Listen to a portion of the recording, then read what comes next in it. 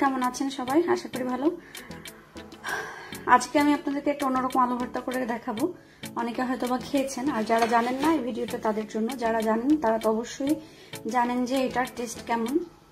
তো এখানে আমি অলরেডি আলু, দুটো আলু সেদ্ধ করে এটাকে ম্যাশ করে নিছি, এরকম করে। আর এখানে শুকনো মরিচ ভেজে নিচ্ছি, আর এখানে একদম পেঁয়াজটা এরকম ছোট ছোট করে কাটছি। এখানে এক রসুন নিচ্ছি, বেশি নেওয়া যাবে না, হালকা জাস্ট একটু ফ্লেভারের জন্য। এখন আমি ফ্রাই প্যানে সরষের তেল দেবো। চাইলে অনেকে এটা আপনারা সয়াবিন তেল বা যে যে তেল খান সেটা দিয়েও করতে পারেন বাট আমি সরষের তেল দিচ্ছি। সরষের তেল দিয়ে নিচ্ছি।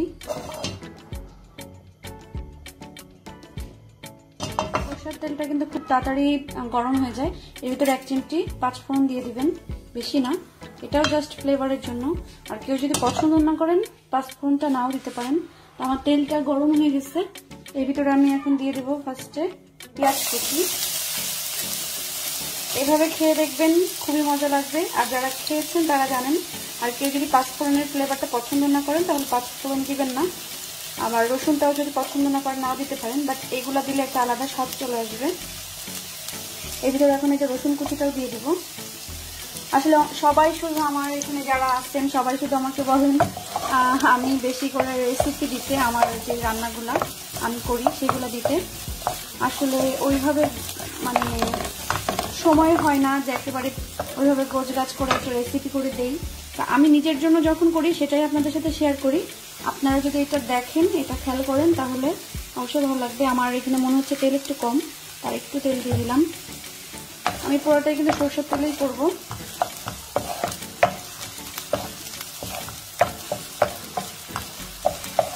পেঁয়াজ, এখনই কিন্তু লবণ দেওয়া যাবে না, লবণটা পরেই দিব আমি। পেঁয়াজটা একটু যখন পানি শুকাবে, এখন লবণ দিলে হবে কি, পেঁয়াজ থেকে পানি ছেড়ে দেবে।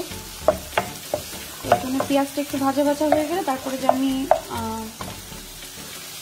লবণটা দিব আমি হাত দিয়ে এরকম করে নিচ্ছি। আপনারা চাইলে এখানে কাঁচা মরিচও দিতে পারেন, কিন্তু আমার কাছে শুকনো মরিচের ফ্লেভারটা যখন বেশি একদম এটাকে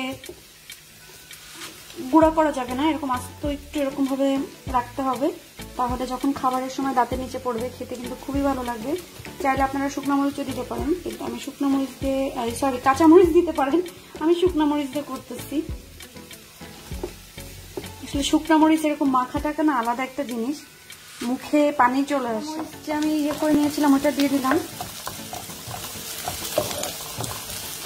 পেঁয়াজটা কিন্তু একটু ভাজা ভাজা হয়ে আসছে।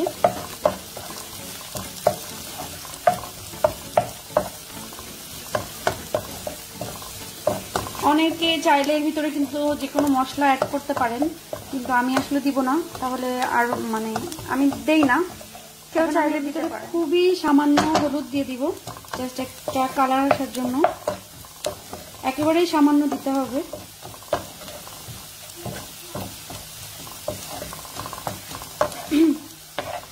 দেখেন কড়া আমার ফ্রাই প্যানের ভিতরে এরকম হয়েছে। আমি যখন দিবেন লাগলে কিন্তু পরে আরও দেওয়া যাবে, কিন্তু বেশি হয়ে গেলে কিন্তু পুরো আপনার যে পেঁয়াজ ভাজিটা, এটা পুরাটা নষ্ট হয়ে যাবে। কিন্তু হয়ে গেছে, একদম বেশি পোড়া পোড়া করতে যাবে না, তাহলে কিন্তু এটা টেস্ট চেঞ্জ হয়ে যাবে। এখন এটাকে আমি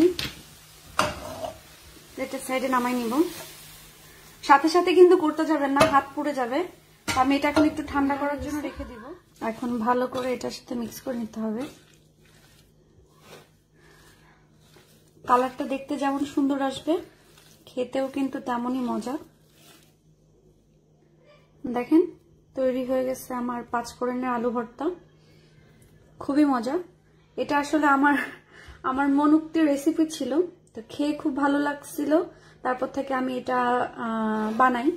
তো এটার নাম আমি দিয়েছিলাম পাঁচ ফোড়নের আলু ভর্তা, কারণ দুইটা হচ্ছে স্ট্রং দুইটা ইনগ্রিডিয়েন্টস তো এই জন্য। তো খেতে খুবই মজা লাগে। আপনারা চাইলে এটা ট্রাই করতে পারেন। আই হোপ আপনাদের সবার ভালো লাগবে।